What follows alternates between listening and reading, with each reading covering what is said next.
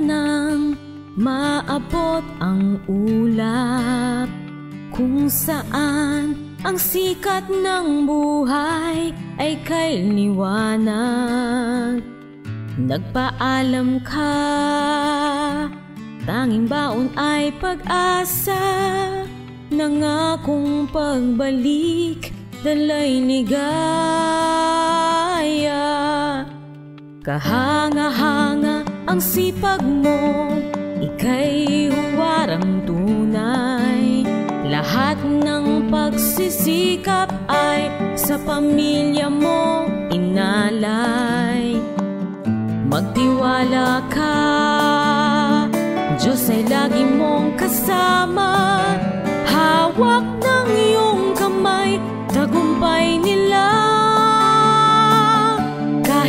Nasan ka man Panalo ka. Ipagunyi mo Pilipino tayo. Buong